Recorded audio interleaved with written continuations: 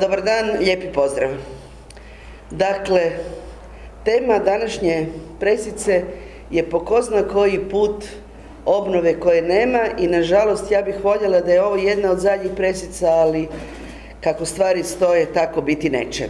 Jučer je bila tematska sjednica Odbora za prostorno uređenje koja je bila na temu obnove iza potresa i ministar Paladina koji se nije pojavljivao u javnosti jedno duže vrijeme se pojavio i ta, na toj tematskoj sjednici sam bila i to vam je bio plač Majke Božje.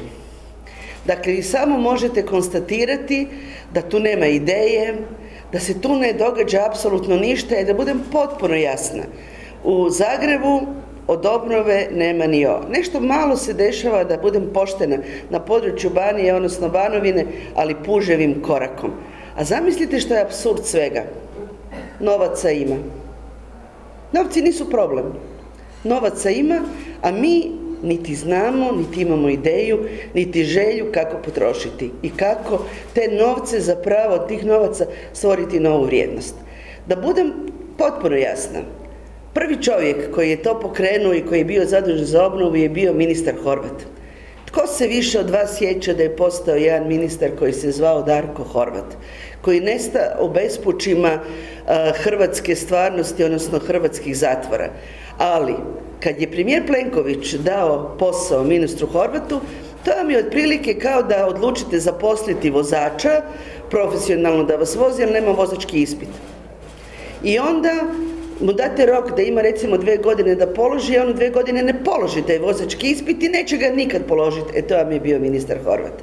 Vidi čuda, iza ministra Horvata dolazi sljedeći ministar koji više ne želi se ni pojavljivati da ne mora odgovarati na sva ona pitanja koja je, jučer se pojavio na odboru, bilo bi bolje da se nije pojavio. Jer svojom pojavom i načinom na koji je na pitanje pokazao da patuljci pojma nemaju. On uopće nema pojma što obnova je, što obnova treba biti i kako u obnovu treba postupiti i kako se obnovom treba baviti.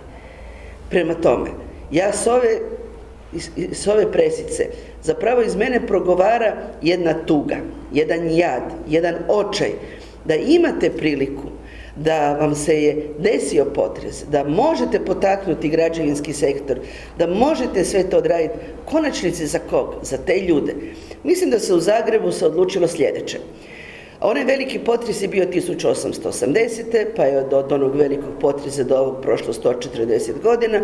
Taman 140 godina, pretpostavka neće biti sljedećeg potresa i taman je to neko vrijeme koje je potrebno da možda se u Zagrebu nešto dogodi.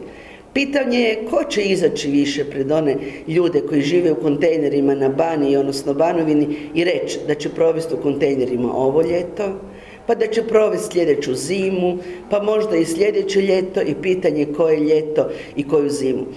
Da budem jasna do kraja, od potresa u gradu Zagrebu je prošlo dve godine i dva mjeseca. Od potresa na području Banije, odnosno Banovine, prošlo je godina i pol. Ono što smo dobili, dobili smo produženje roka za potrošiti sredstva koja su namijenjena iz Europske unije, odnosno iz Fonda za obnovu zgrade i javne namjene. Kad je riječ o Zagrebu, od 5 milijardi potrošeno je 8%.